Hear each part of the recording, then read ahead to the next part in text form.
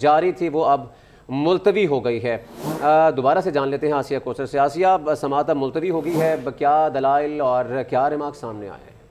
हैं जी बिल्कुल लतीफ़ कोसा की जानब से आज जो वकील थे उनकी जानब से रिमार्क्स जो है वो दलाइल जो है वो दिए गए हैं और उसी के इर्द गिर्द जो है वो सारी समात लतीफ़ कोसा के दलाइल के दौरान ही आज की समात गुजरी है। उनकी जानब से बड़े कुछ आ, जो है आम उनके दलाइल दिए गए जिस पर जजेस की जानब से जो है वो सवाल भी किए गए हैं लतीफ़ कोसा की जानब से जो है अदालत से बताया गया है कि मुल्क में चार हज़ार मशकूक अफराद को जो है वो गिरफ़्तार किया गया है।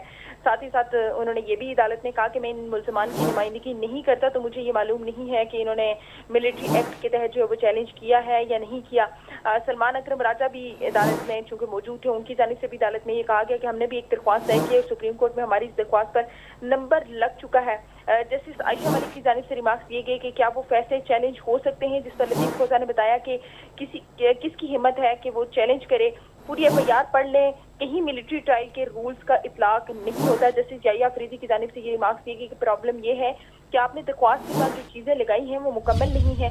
लतीफ़ कोसा ने अदालत को ये भी बताया कि मैं और एतजाज एहसन मुलजिम तो नहीं है। हम 25 करोड़ अवाम की जो है, वो फ़िक्र कर रहे हैं और उसी की फ़िक्र में यहाँ पर आए हैं, जिस जिस पर जस्टिस याया अफरीदी की जानब से ये रिमार्क्स दिए गए कि मुल्क भर से कितने लोगों को मिलिट्री कोर्ट के तहत जो है वो ट्रायल के लिए भेजा गया।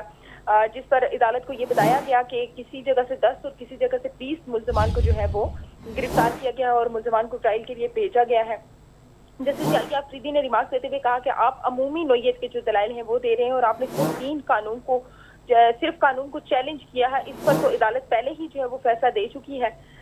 इसी दौरान जो है वो अदालत में लतीफ कोसा की जानब से ये कहा गया कि आप बेहतरीन जजेस हैं जिस पर चीफ जस्टिस ने मुस्कुराते हुए जो है वो जवाब दिया कि आप हमें शर्मिंदा करें और साथ ही साथ उन्होंने जस्टिस मंसूर अली शाह को टपकी भी दी। जस्टिस मंसूर अली शाह की जाने से ये भी पूछा गया कि क्या एटीसी में मुलजमान की मिलिट्री कोर्ट हवालगी से पहले कोई बहस हुई थी?